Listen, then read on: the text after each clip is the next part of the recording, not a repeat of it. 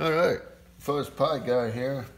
Just want to show you my uh, homemade uh, bi-quad antenna for uh, ADS-B 1000 mega, 1090 megahertz. Um, the uh, need a pointer. The sheet, the brass uh, sheet metal here I got off of uh, online. This here's just normal household uh, wire, solid. Then uh, I used a SMA connector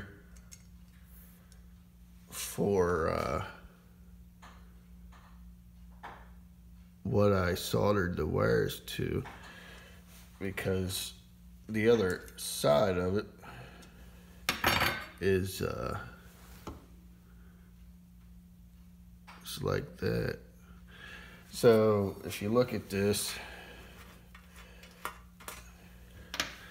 I just soldered the uh, SMA. I drilled a hole, found the center piece, the center of the uh, sheet metal. The sheet metal itself needs to be 275 by 138 millimeters.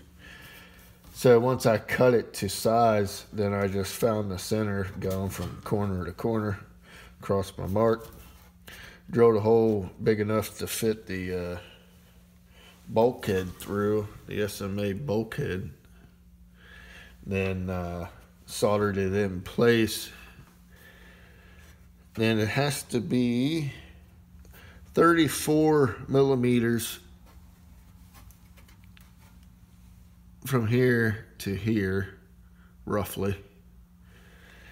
So I, uh, since I was using this style, I just soldered the one piece directly to the sheet metal then the uh, other one actually to the center pin of the uh, SMA.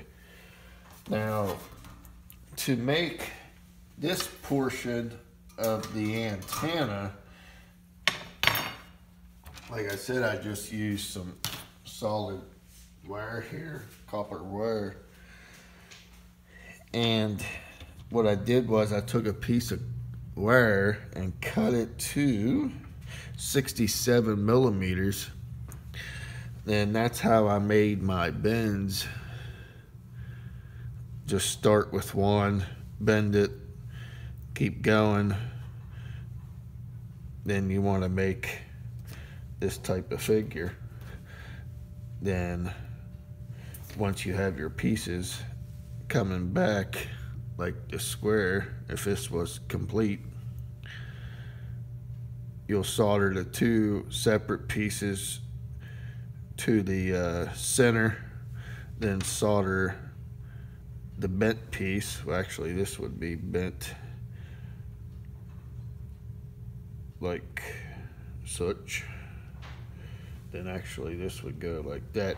This piece is just piece of scrap. So you'll solder the bend piece to the shield and the uh, two separate pieces to the center. Not saying it matters, you could probably do it either way. So that's the way I just did it.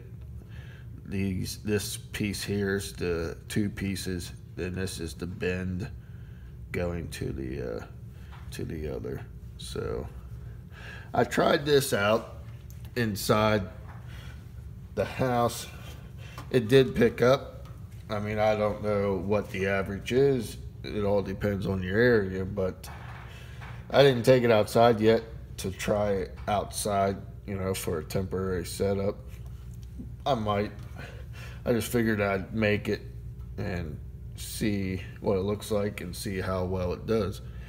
But uh, not saying I'm going to use it for a permanent solution, but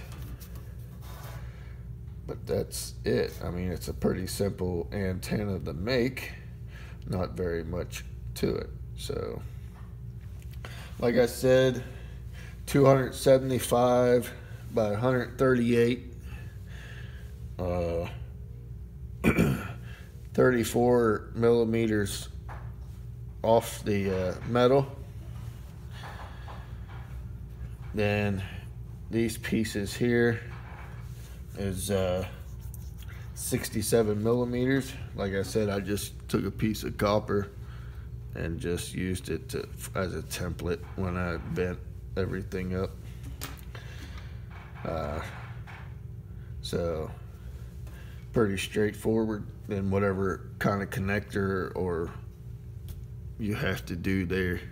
So then maybe straighten these up a little bit better. But like I said, I just wanted to build it and see what it was going to turn out to be. So I'll post uh, some pictures and everything and a link to my website that will have this video and some pictures of it. And uh, we'll go from there. All right. Thanks for watching.